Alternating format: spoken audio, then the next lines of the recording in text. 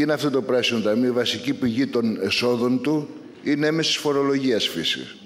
Μετακυλίεται δηλαδή στα λαϊκά στρώματα. Με έναν τρόπο, με τον ένα με τον άλλο τρόπο. Άρα δηλαδή έχει αντιλαϊκή πηγή άντλησης εσόδων. Επιπρόσθετα στη φορολογία που έχουν τα λαϊκά στρώματα. Ένα το κρατούμενο. Δεύτερον, διαβάζοντας τον απολογισμό δράσεων του Σεπτεμβρίου του 2019 από την περίοδο Δεκέμβρη του 2015 έως Ιούλιο του 2019 εδώ πέρα καταγράφονται μια σειρά ζητήματα τα οποία πραγματικά πρώτον το Ταμείο δεν μπορεί να λέξει ποιοι του χρωστάνε δεν μπορεί να ελέγξει ποιες είναι οι πηγές των εσόδων. Δεν μπορεί να ελέγξει αν έχουν το σύνολο που έχουν εισπραχθεί, έχουν αποδοθεί στο ταμείο. Τίποτα από αυτά δεν μπορεί να κάνει. Άρα ό,τι του δίνουν το διαχειρίζεται. Το ποιοι χρωστάνε, πόσα χρωστάνε, τι γίνεται δεν ξέρει κανείς τίποτα. Για να δούμε λοιπόν γιατί πράγμα συζητάμε. Δεν είναι περίεργο αυτή η κατάσταση που έχει διαμορφωθεί. Ένα. Δεύτερο ζήτημα το οποίο ε, μας δημιουργεί πολύ μεγάλη εντύπωση. Τα αποθεματικά, τα ταμιακά διαθέσιμα του πράσινου ταμείου είναι 3,5 δισεκατομμύρια. Πόσο μπορεί να διαθέσει από αυτά; Μόνο το 2,5%. Ετησίως, ναι. Ενώ ετησίως έχει έσοδα. Αυξάνουν δηλαδή τα ταμιακά του διαθέσιμα.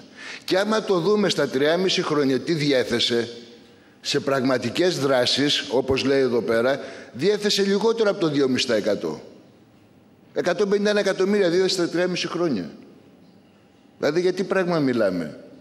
Και να πάμε στα συγκεκριμένα να δούμε για τη θαλάσσια, για την προστασία του θαλάσσιου περιβάλλοντος 2 εκατομμύρια σε 3,5 χρόνια. Δηλαδή με συγχωρείτε πολύ. Έτσι προστατεύεται η θάλασσα με 2 εκατομμύρια σε 3,5 χρόνια και πανηγυρίζεται ότι αναβαθμίζεται και προστατεύεται το περιβάλλον. Δεύτερον, για τα δάση. Για τα δάση τα 3,5 χρόνια από τα 151 εκατομμύρια δόθηκαν μόνο τα 15 εκατομμύρια. Το 10%. Και μπορεί να προστατευτεί το δάση και μιλάμε για το 19 στο πρώτο εξάμεινο και έχει μια πολύ μεγάλη σημασία αυτό. Γιατί βεβαίως αν δεν προστατεύσει το δάσος πριν την, την, την αντιπυρική περίοδο δεν μπορείς να αντιμετωπίσεις πυρκαγιές. Διαθέθηκαν το πρώτο εξάμεινο του 19 για την προστασία των δασών και την αναβάθμιση 817.000.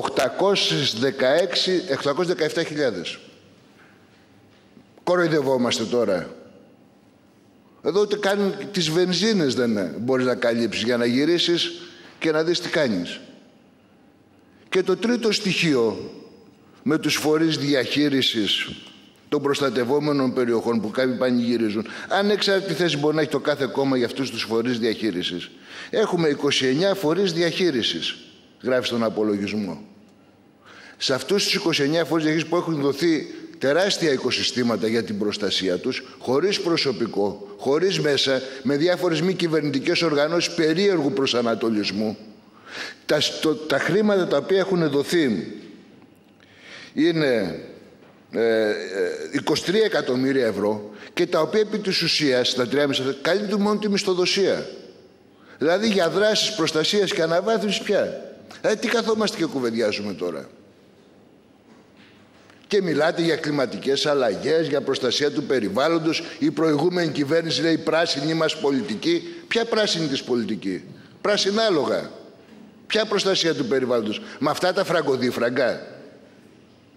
Και από την άλλη τη μεριά έχει μια ιδιαίτερη σημασία ότι ένα πολύ μεγάλο κομμάτι, το ανέφεραν οι προηγούμενοι ομιλητές.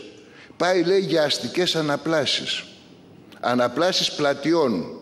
Αυτό συνδέεται με τα προγράμματα βιώσιμης αστικής ανάπλασης, τα οποία δεν έχουν σχέση μόνο με την προστασία του περιβάλλοντος, κύρια με την προστασία του περιβάλλοντος, αλλά έχουν με την τουριστική αναβάθμιση και ελκυστικότητα των πόλεων. Άρα για άλλους σκοπούς είναι αυτά. Γι' αυτό λέμε λοιπόν ότι επί της ουσίας το ταμείο αυτό μπορεί να ονομάζεται πράσινο, όμως δεν έχει καμία απόλυτο σχέση με την προστασία και την αναβάθμιση του περιβάλλοντος. Αντίθετα με την υποβάθμιση του έχει, με την εμπορευματικοποίηση του έχει και με όλα τα υπόλοιπα σημεία. Από αυτή λοιπόν την άποψη, εμείς δεν έχουμε τίποτα προσωπικό με τον υποψήφιο, με τον προτινόμενο πρόεδρο, αλλά δεν μπορούμε να ψηφίσουμε, θα ψηφίσουμε κατά. Γιατί ακριβώς υπάρχει μια τέτοια δομή και ένα τέτοιο εργαλείο και μηχανισμός ο οποίος όχι μόνο δεν προστατεύει αλλά κοροϊδεύει ξεκάθαρα τον κόσμο ότι έχουμε ένα ταμείο για να προστατεύσουμε τα δάση, το περιβάλλον και όλα τα υπόλοιπα. Από λόγους, από αυτής λοιπόν της άποψης εμείς ψηφίζουμε κατά, όχι στο πρόσωπο, αλλά στο ίδιο το, τη λογική του ταμείου, ταμείο και τη λειτουργία του αυτή.